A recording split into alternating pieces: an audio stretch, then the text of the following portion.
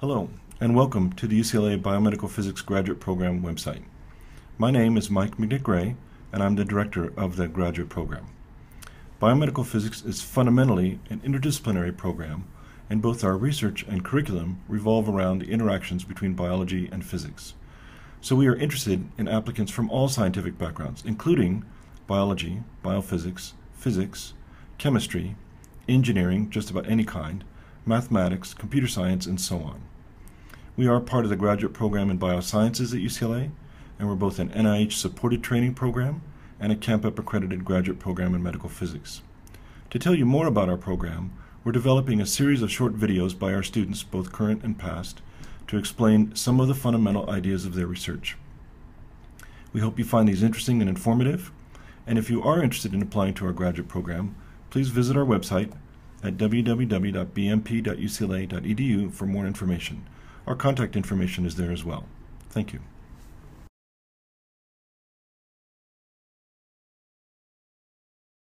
In this video, I'll be talking to you about the Therapeutic Medical Physics track.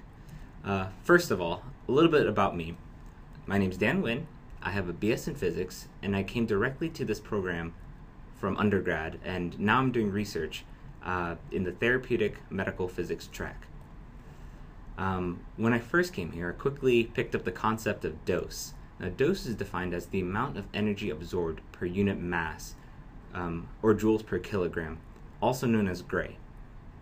Um, dose is caused by ionizing radiation, which is characterized by having enough energy to excite and ionize atoms. A common type of ionizing radiation used for therapy are photons. Photons are produced for radiation therapy by radioactive sources such as cobalt 60 or by linear accelerators which accelerates electrons onto a tungsten target to produce the photons. Um, now, linear accelerators are used in external beam radiation therapies, uh, and this involves a patient on a couch, and there's a gantry that houses the linear accelerator to pr produce the photons for treatment. Um, how external beam radiation therapy works. Now imagine a tumor in beam's eye view, um, and now we add an organ at risk. Now, now imagine the beam is divided into smaller pixels called beamlets, and and if we have the ability to choose to turn each and each beamlet on or off uh, using multi-leaf collimators, um, we can uh, create a uh, plan that's conformal to the tumor, and this is known as conformal radiation therapy. Um, and in CRT, the intensities of the beamlets are all the same.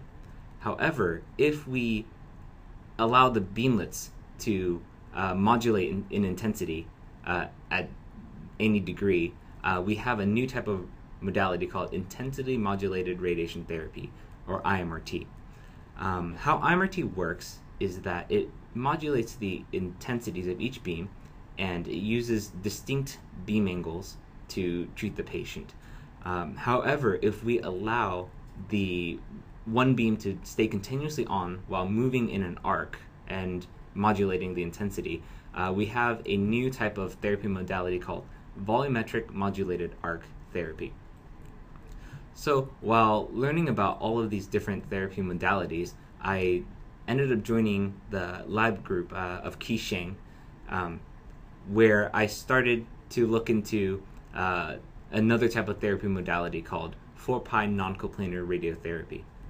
How 4-pi non-coplanar works, uh, so clinically, uh, most uh, radiotherapies use coplanar beams uh, for treatment, and every once in a while the planner will add a type of non-coplanar beam in just to avoid uh, organs at risk.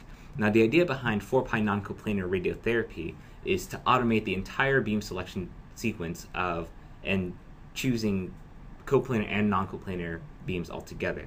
What this means is that we move from a solution space of candidate beams of just a single plane, the coplanar plane, and we move into the entire 4 pi steradian. Uh, this is a much bigger problem to solve, uh, but it gives uh, a better answer since it includes the uh, original solution space. So here we have a typical 4-pi plan versus a clinical plan, uh, the VMAT plan. Uh, and as you can see, the 4-pi plan uses um, many more non-coplanar beams, uh, whereas in the VMAT plan, you see it uses one coplanar arc and one non-coplanar arc. Here's the dose wash between a typical VMAT plan and the 4-pi plan. And as you can see here, at about above 30 grays or more, the the dose is much more conformal in the 4-pi plan. So what we have here is a dose volume histogram or DVH, and how these are read is that it tells you uh, the amount of dose or more that a certain volume of a organ at risk is getting or a structure is getting. Uh, for example, if we look at the brain contour, um, you can see that 20% uh, of the brain is receiving 30 grays or more of dose.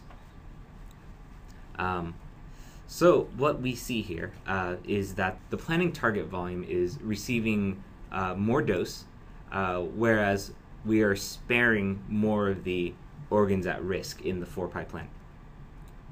So how do we deliver non-coplanar angles? So 4-pi non-coplanar radiotherapy can be implemented with current clinical technology shown here.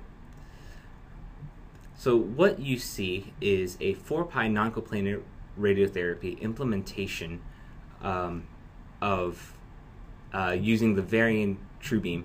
Uh, in the left top left-hand corner, you see a 3D virtual model uh, that is used in creating collision maps as well as uh, optimizing the beam sequence.